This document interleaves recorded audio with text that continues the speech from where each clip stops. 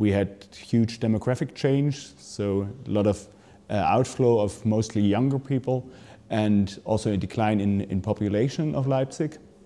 But with a positive narrative, so being the, the core of a reunification movement also in Eastern Germany, uh, in um, beginning of this century, um, it, it came better and also positive narrative, meaning innovation, and we had some, some larger companies coming in as well, and now we have a um, growing, growing population again, and also a very good link between the rural areas around the city linked more to the city center. So we now, like last month, announced that we're now back to 600,000 inhabitants again.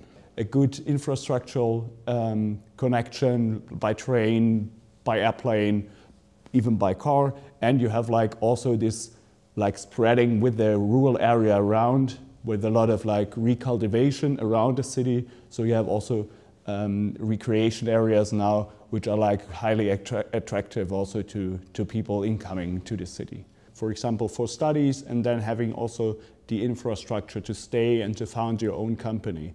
So just to, like from the state perspective, to form the basis where small companies and startups can grow on. It's not the government like bringing jobs or uh, like founding companies, it's the people. So the only thing you can do is like like securing those open spaces and make like for example public spaces also open to public and bringing in uh, more like parks and community centers and uh, technology centers former industry areas that could be used by by artists or by smaller companies uh, just to try with like low cost but also with an with an uh, inspiring um, um, surrounding area and also the feeling that by your own you can like change something. And this is linked to the narrative of Leipzig being like the city of heroes or the revolution city. So this positive narrative and also like citizens can do change by their own, that is probably one, one of the, the most important things in that discussion.